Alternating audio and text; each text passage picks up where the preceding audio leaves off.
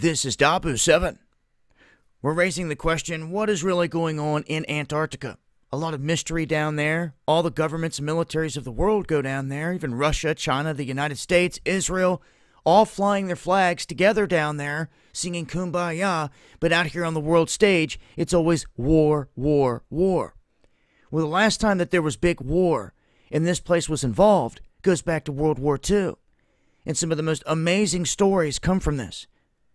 When we're talking about these Vimana and aircraft, Operation High Jump, everything that Admiral Byrd had talked about that went down with these battles around Antarctica. And it was said that the Nazis had found a way to get up underneath the ice cap and build a base.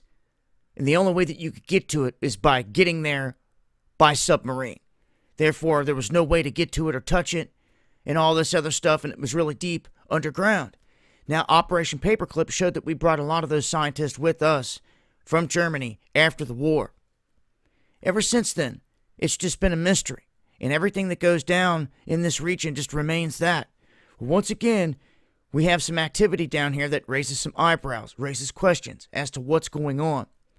There is a region that has been struck by a ton of quakes. More than what they've ever seen, for what they're saying here. They're saying more than 50,000 tremors have rocked this region since the end of August. You're not going to see this on any earthquake map. Matter of fact, the earthquake map doesn't even cover Antarctica. Now, this is such an impressive spike. They're saying that this has never been witnessed by scientists before. It all started with a major 6.0 that was detected in the Bransfield Strait.